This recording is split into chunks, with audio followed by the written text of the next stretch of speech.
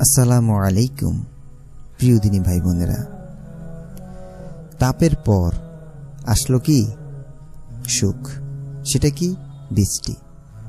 এর বৃষ্টির মাধ্যমে আমাদের মুমিন যারা আছে, তাদের অন্তর প্রশান্তিতে পড়ে যায়। আর যারা অমুসলিম আছে, যারা কাফের আছে, যারা আল্লাহ সুবাহন তালাকে সবসময় ভুলে থাকে, ওই যখন বিপদে পড়ে তখন আল্লাহ সুবাহন তালাকে ডাকে। তাদের জন্য এটি সামান্য একটি মানে পরিত্রাণের মতো। যে এর মাধ্যমে সে সামান্য কিছু সুখ উপলব্ধি করতে পারবে। কিন্তু যারা মুমিন, তাদের জন্য এই তাপটা ছিল অনেক কষ্টের। কিন্তু এই কষ্টের বিনিময়ে আল্লাহ সুবাহনু তারা তাকে দুনিয়াতে ক্ষমা করে দিলেন এবং আখিরাতে তার জন্য পুরস্কার রেখেছেন। আর যারা নাফরমান রয়েছে মুনাফি কি করে? আল্লাহ সুবাহনু তারাকে ডাকে কখন? যখন বিপদে পড়ে।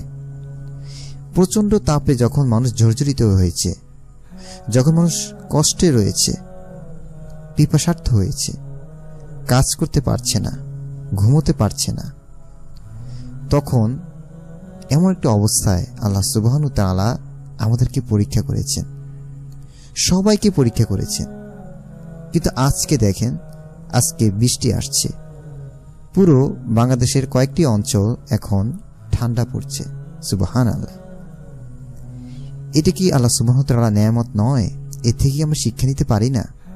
আজও দেখেন, যারা তাপের মধ্যে রয়েছিল, তারা আল্লাহ সুবাহতালাকে কত ডেকেছে, কত কান্নাকাটি করেছে, যে এই তাপ যাতে দূরে সরে যায়। কিন্তু যখন বৃষ্টি দিয়ে দিল, তখন কিন্তু আর আমরা আল্লাহ সুবাহতালাকে সেরকমভাবে ভয় পাচ্ছি না।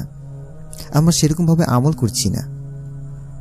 এই জন্য আল্লাহ সুবাহতাল্লাহ কোরআনে আয়তে মেদে বলছেন, যখন মানুষকে কষ্টে বা বিপদ যে কোনোভাবে আক্রান্ত করা হয়, তখন সে শুয়ে বসে দাঁড়িয়ে আল্লাহ সুবাহতালাকে ডাকতে থাকে। আর যখন আমি কষ্ট সরিয়ে নিই, তখন সে এমন ভাব করে যেন তার কোনো কষ্টই আসেনি। তো আল্লাহ সুবাহতালা জানেন যে আমরা বিপদের সময় আল্লাহ সুবহতালাকে বেশি ডাকি। এই জন্য আল্লাহ সুবহতালা আমাদেরকে বিপদ দেন। আর জলস্থলে যত বিপদ রয়েছে, যত আজাব রয়েছে, যত দুঃখ কষ্ট রয়েছে, সকল কিছুই আমাদের পাপের কারণেই আসে। এবং আল্লাহ সুবহতালা এরই মাধ্যমে আমাদেরকে বাছাই করেন কে মুমিন আর কে মুনাফিক। আল্লাহ সুবহতালা আমাদেরকে বুঝাও, মানার, তাফিক দান করুক। আমিন।